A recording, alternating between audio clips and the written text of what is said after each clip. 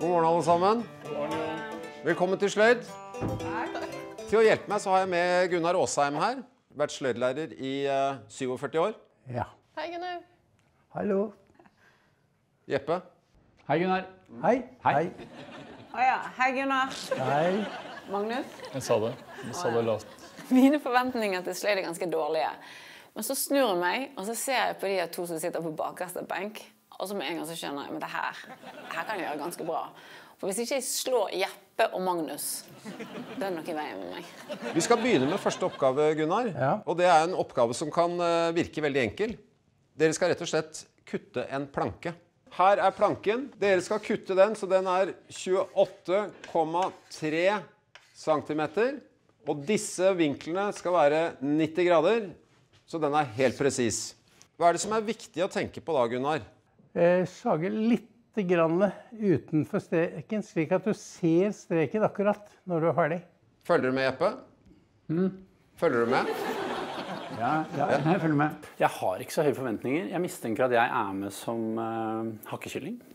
Da er vi klare til å starte, da. Dere har ti minutter fra nå.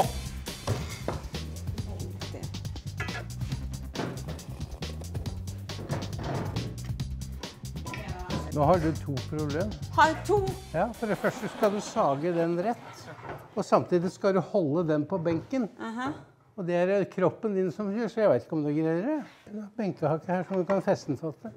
Tenker du at det kan være lurt å sette fast arbeidsstykket i benken? Ideelt sett så skulle jeg gjerne gjort det. Ja, hvorfor gjør du ikke det? Og det er det de er til. Jeg holder Det er fast trestykket. Det eneste forholdet jeg har til det, det er at da jeg hadde sløyd, så skulle jeg se om jeg kunne ta, gjøre sånn og ta den imot med hånda. Ganske tilfredsstillende å få til det trikset der på første forsøk.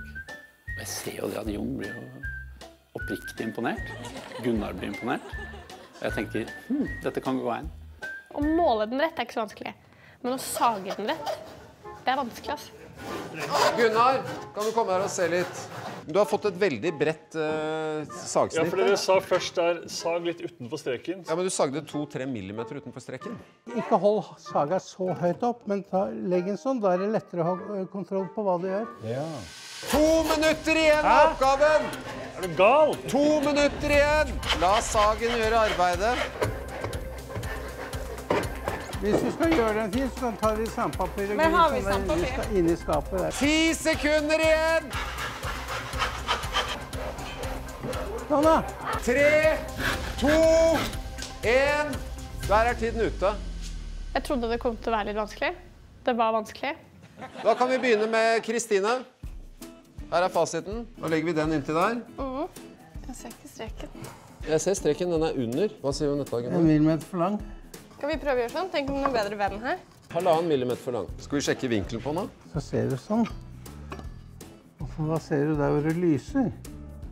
Ja, den er ikke helt enkel, da. Men er det lov å drive med pussepapir? Oh, nei, nei, arbeidet er over. Ja, men de driver med pussepapir. Jeppe, da kan du komme opp her med din planke.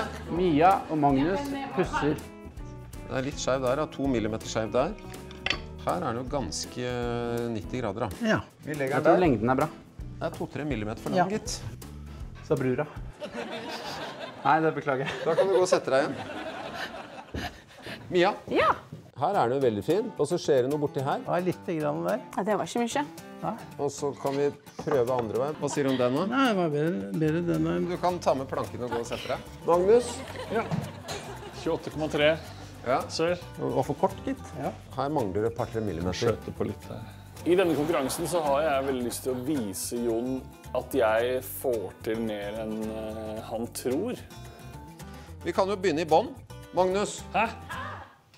I bånn? Ja, karakteren to. Fire. To? Ja. To?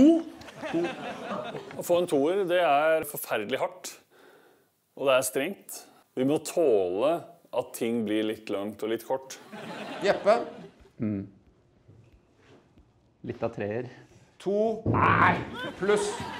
Fordi Kristine. Ja. Tre pluss. Og så, på topp Bare to millimeter for kort på den ene siden. Den andre siden helt perfekt. Du trenger ikke si noe, Mia. Du har gjort deg fortjent til fire minus. Fire minus? Det var to millimeter skeiv akkurat på den ene siden. Det var jo langt fra noe perfekt.